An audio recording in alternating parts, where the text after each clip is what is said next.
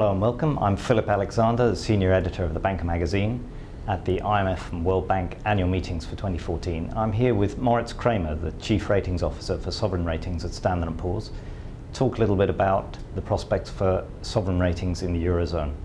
Moritz, hello and welcome.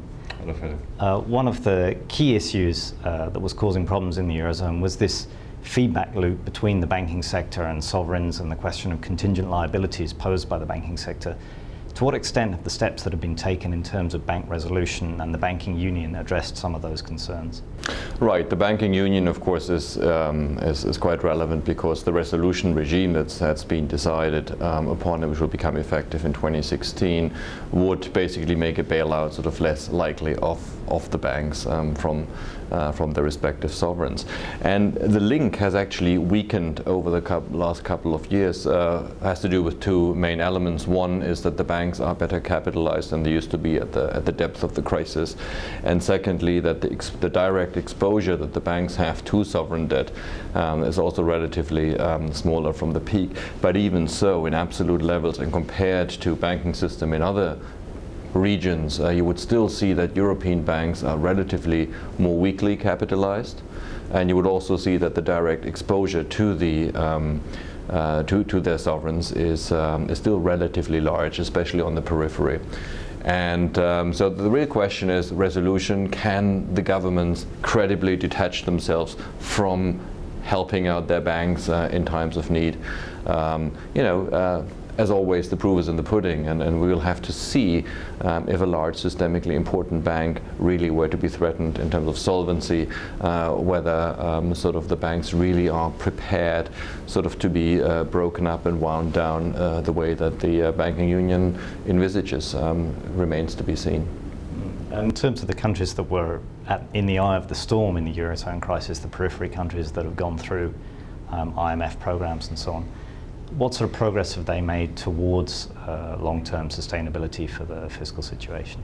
Well, uneven progress, I, I should say, but um, the key of it really is whether growth can come back, um, because without growth, without growth of the denominator, sort of debt burden and the capacity to carry this debt uh, will remain compromised. So, uh, looking at through this prism, you would see that a country like, like Ireland probably has made uh, most progress, and, and, quite symbolically, they're now um, looking like they're, they're, they're you know, prepaying um, uh, the, the, program to their official creditors. I think Spain has made some progress. Certainly Greece has made major reforms. Um, but, but in all those countries, uh, I think we need to, to still remember sort of what we're talking about uh, in terms of before and after. Yes, they have uh, risen sort of from the depth of the crisis, but it's a far cry from, uh, from being sort of unsafe ground in the sense that you could say, well, basically they made it, they're back to where they were. If you look at unemployment rates uh, in countries like Spain or Greece, um, if you look at the high leverage that you still have in many of those uh, um, private sectors as well, like Spain and Portugal, a lot of deleveraging still is ahead of us, and that will will restrain growth for many years to come. So I think the first um, uh, acute stage has been has been handled um, successfully, and they have emerged from that without a default. Of course, Greece has defaulted, but the others. Um, but um, but more needs to be done, and it's really a long distance race um, that is still ahead of us. Mm. And overall, there was this structural question about the Eurozone, a monetary union without a, a, fiscal or economic union. Do those questions still remain? Is that still an issue that um, it's not clear how the Eurozone lines up as a whole, um, and there's still the risk of sort of fragmentation between the, the, the fiscal positions and as a result the sovereign ratings for the eurozone? Well, there is there is uh, certainly um, this this concern, um, and uh, I, I, would say to that, however, that the key issue is not so much sort of whether how how many funds, budgetary funds are flowing from one country to the other.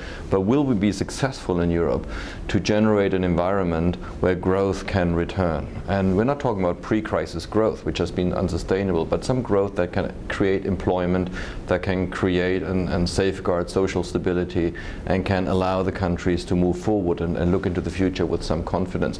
For that, it takes much more than fiscal policy and monetary policy. For that, it really takes an enabling business environment. It takes reforms on the tax system in many countries, on the labor market, on, on, on, on a myriad of, of little sort of uh, protectionist little islands and, and certain uh, service sectors, for example. And these are really measures that can only be taken and successfully implemented at home, meaning at the national level. I think there, sort of the European level can, can only be sort of helpful in, in trying to create the incentives uh, for societies to embrace those changes. But the leadership, the ownership needs to come um, from the nations themselves. Moritz, thank you very much.